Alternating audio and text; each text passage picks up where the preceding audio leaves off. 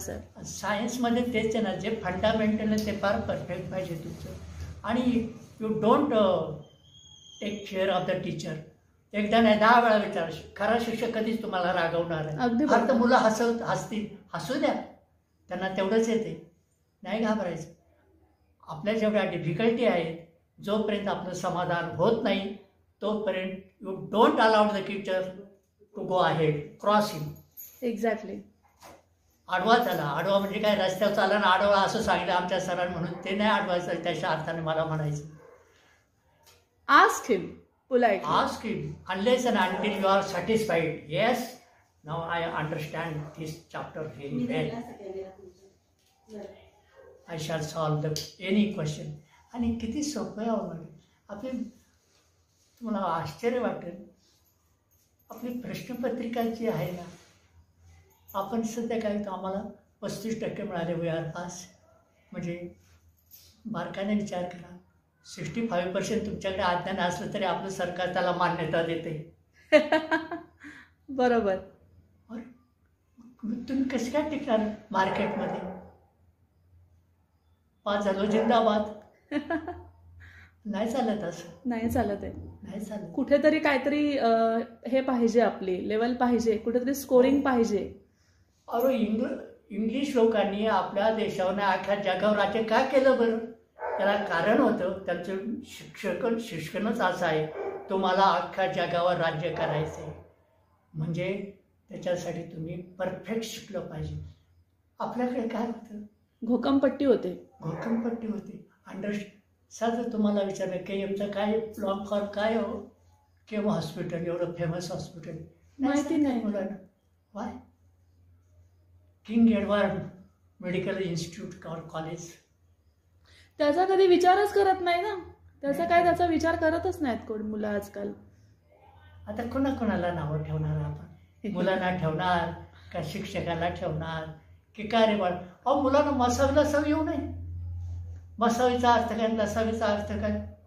मी madam कोणावर टीका करत नाही but it is the fact मसावीचा अर्थ काय? महत्तम साधारण विभाजक. आणि लसावी लघुतम साधारण विभाज्य. विभाजक आणि विभाजकाचा अर्थ जर तुम्हाला कळाला नसेल तुम्ही कसं शिकवणार म्हणजे सर सर मला सांगा. सर आजचा शिक्षक कसा असला पाहिजे? आजचा टी शिक्षक in short he must be perfect in his subject or in her subject nobody can blame me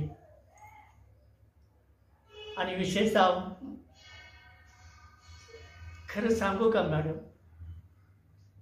समाजाने नावं ठेवली ठेवतात. तेवढी कपॅसिटी आहे आपल्याकडे. समाज असाच असतो.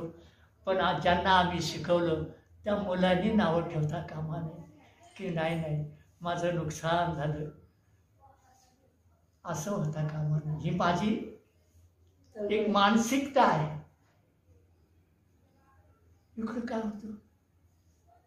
जी मुलं मेडिकल इंजिनिअरिंगला जातात तिथे ते पन्नास टक्क्याला पासिंग आहे मॅडम तुम्हाला ॲटलिस्ट पन्नास टक्के यायला पाहिजे. तुम्हाला एकूण पन्नास पडले ना यू आर फेल एका मार्कावर नाही नाही. नाही जमणार. एवढी मुलं आपली मुलं एवढी गॅप नाही सहन करू शकायचं अरे इकडं पस्तीस टक्के नसतं पाच पाच जिंदाबाद. आणि इथं काही पाहिलं एकदम पन्नास टक्के आमच्या वर टाव ठेवलं असं कुठं असतं का? एक तर घरी बसवतं मराठी भाषा बाहेर बसवतं इंग्लिश मिडियम म्हणून इंग्लिश भाषा. त्यांची सँडविच होतो ऐकायचं कोणाचं?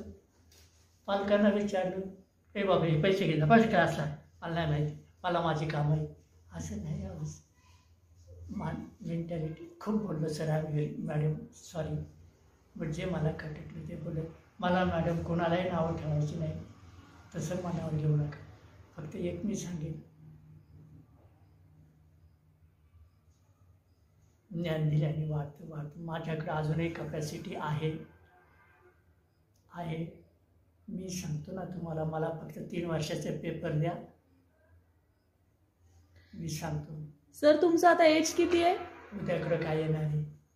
आपलं एज किती आहे आता सर माझी एक सहा एकोणीसशे एकोणपन्नास जन्म तारीख एकोणपन्नास. हम्म. पण मला जगवलं माझ्या ह्या शिक्षण प्रेमानेच जगवलंच मॅडम जगवलं माझ्या प्रत्येक क्षेत्रामध्ये कोणी ना कोणी विद्यार्थी असतो. मी शेवटी तर आता तुम्ही आला नसताना मॅडम मी मनाशी आपण विचार केला होता काय नाही. आपण ट्रेझरी जायचं. की अशी अशी माझी अवस्था आहे त्यामुळे नाही करू शकलो. माझं पेन्शन जे आहे ते रोखू नका. ट्रेझरीमध्ये पण माझे विद्यार्थी आहेत. तीच तुमची कमाई आहे तुमच्या आयुष्याची. तुमचे विद्यार्थी. कमाई असते. बरोबर. काय असते?